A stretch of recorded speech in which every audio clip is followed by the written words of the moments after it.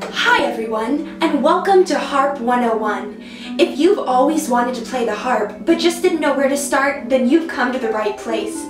Over the next several weeks, we'll be talking about everything from harp anatomy to basic playing techniques, and I'll be equipping you with the tools that you need to begin your journey of playing the harp. So let's get started. To begin with, let's get to know your harp. While harps can look vastly different and vary drastically in size, the majority of harps have several parts in common. There's the neck, knee block, sounding board, body, pedals, base, column, and strings. The harp has seven pedals, each of which correspond to a particular pitch. There's the E pedal, F, G, A, and then on the left side, we have the B pedal, C, and D.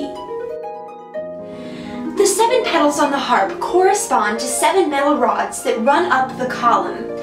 These rods in turn connect to small metal discs that run along the neck of the harp.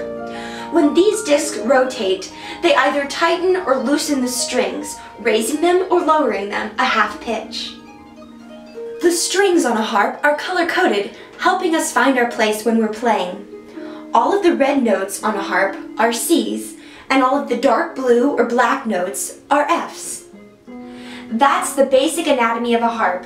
Tune in next time to see how to sit at the harp and the proper harp hand position. Until then, this is Harp 101. Thanks for joining us. Hi everybody, thank you so much for watching and I hope you enjoyed the video. If you did, please like it and subscribe to my channel. Also, comment below about something you'd like to learn about the harp.